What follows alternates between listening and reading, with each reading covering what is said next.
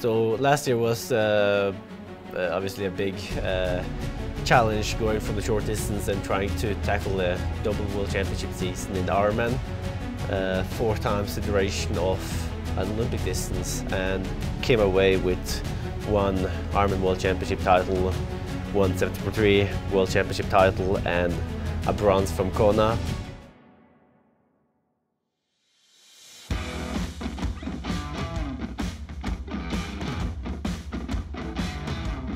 So now. I've been one month at the sea level down in Marrakesh, uh, just getting the hours in and just made it up here now to the uh, Atlas Mountain in Oukaimeden and we're now living at 2,650 meters.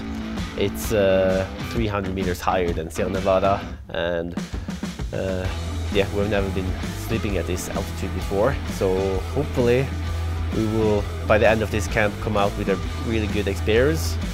Uh, but yeah, we don't really know. It's the first time we've been up here. And it's very few athletes who've been training uh, at this uh, altitude and then going back for short distance triathlon. So it's uh, something we're experimenting with now, but it's also a good timing in terms of Paris Olympics. Do it now rather than doing it next year.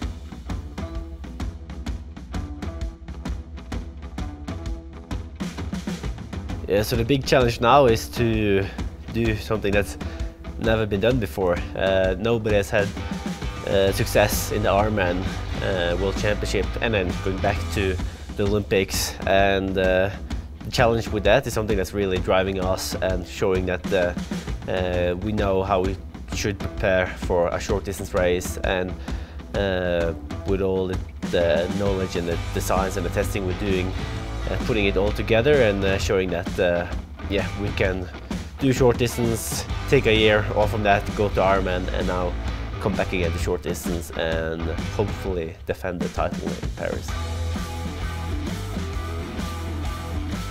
Yeah, so I've been a part of the Texaco family now since 2020 and uh, back then, I would say performance was sort of getting this uh, uh, steady build up going into Tokyo. It was like a 10 year dream and uh, uh, sort of sort of following the uh, step way up to the top of the podium.